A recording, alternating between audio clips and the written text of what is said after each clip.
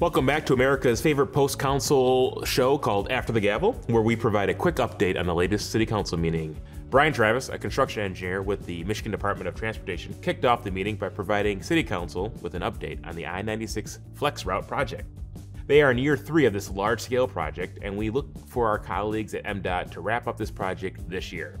Similar to what we saw last year, MDOT will be closing several off ramps again, this year, you will be unable to enter or exit westbound I-96 at Novi and Beck Roads. Unfortunately, the eastbound entrance to I-96 at Beck Road and the southbound M5 ramp to westbound I-96 will be closed for the duration of the project.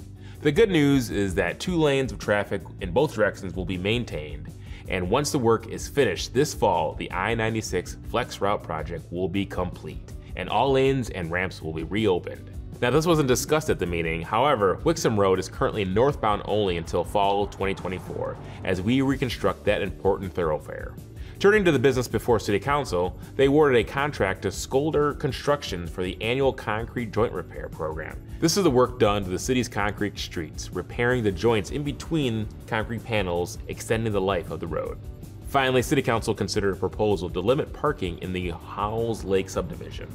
These are narrow roads, and some residents in that neighborhood have expressed concerns regarding the vehicles being left on the street, in doing so, possibly inhibiting access from public safety vehicles. Ultimately, Council directed staff to return with alternate suggestions to address this issue at hand. That about wraps up everything from last night's council meeting. As always, check out cityofnovi.org to keep up to the latest and greatest happenings in your Novi. Thank you for watching. Take care.